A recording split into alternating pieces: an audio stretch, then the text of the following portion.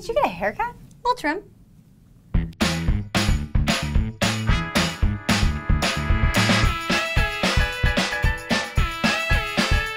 Today on the countdown, no white after Labor Day, Are we doing that? our top thrifting tips, The raw jewelry trend. and Miley Cyrus's crazy new do. I'm Leah. And I'm Mary. and this, is the Haute List.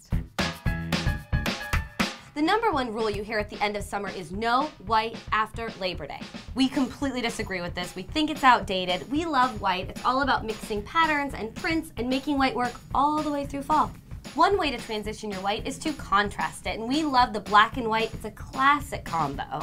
So what are you loving, Leah? I love the peplum because mm-hmm. it's got that graphic. I mean, that's a Yes. to the graphic. So you've got the black and the white. It's a very modern take on this classic combo. Yes. And I love the little white blouse with the black Peter Pan collar. Super cute. So sweet. Throw it on instead of a t-shirt and just a, a little more pulled together. If you want to go a little bit more glam, another great contrast with white is gold. Super fab. So we are loving these cap-toed gold pumps. They are so cute. Give them to me. I want them with jeans. I want them with a skirt. I want them with a dress. Just give them to her. Just give them to me.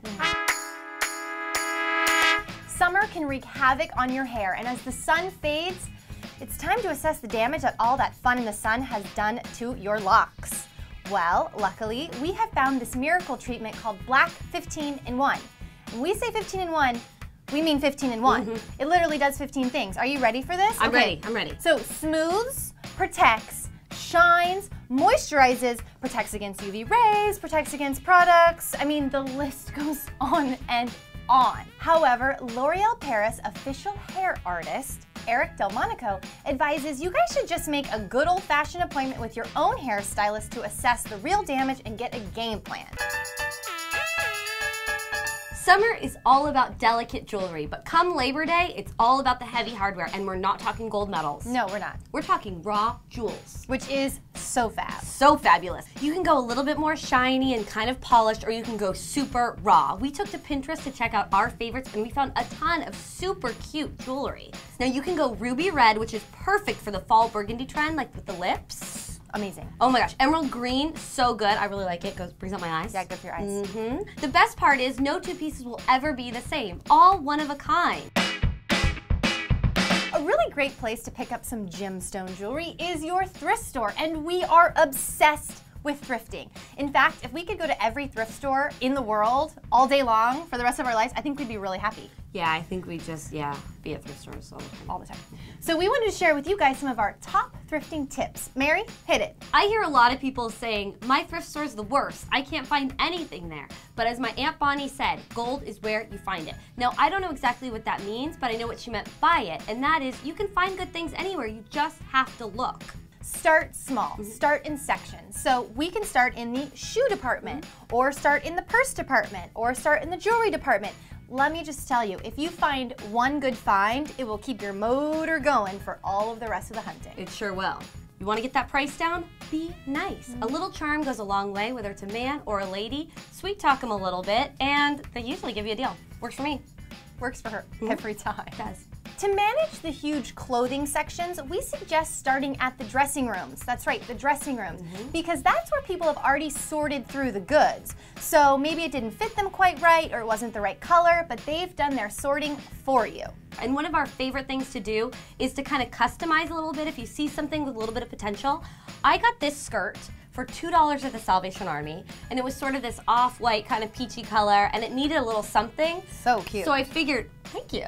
So I figured it was worth the investment. I picked up a little Rit dye, which is recommended for cotton fabrics only, but I figured a couple bucks, a couple bucks, I'm gonna risk it. And it totally worked. So I did like a soft pale yellow, which I'm really loving and loving for fall. It has a little ballerina quality to it, and I'm stoked.